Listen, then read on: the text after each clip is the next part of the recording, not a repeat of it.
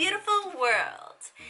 Now, I want to talk to you about something that is so important that not enough people pay attention to.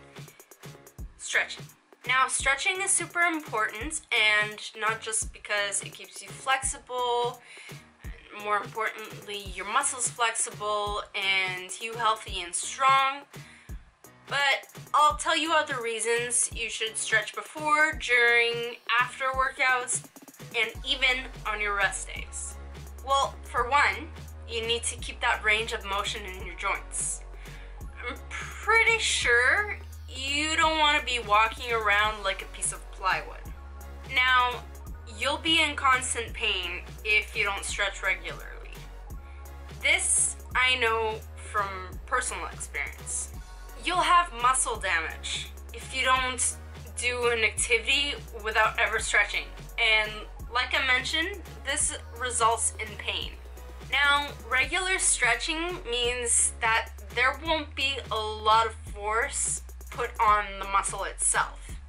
So, even if you work out, lift a whole bunch of weights, and you're stretching, there won't be a lot of force put on the muscle means you're not gonna be as exhausted as you would be if you don't stretch. Now, if you're a person with balance issues like me, regular stretching can help you.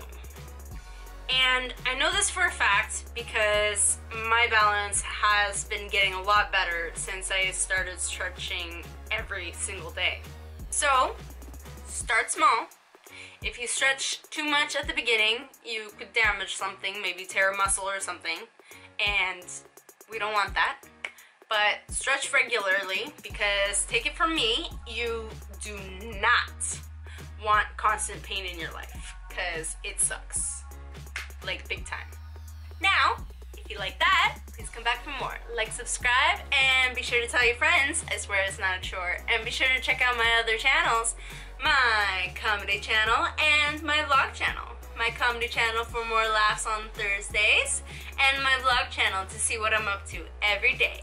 Love you guys so, so, so, so much.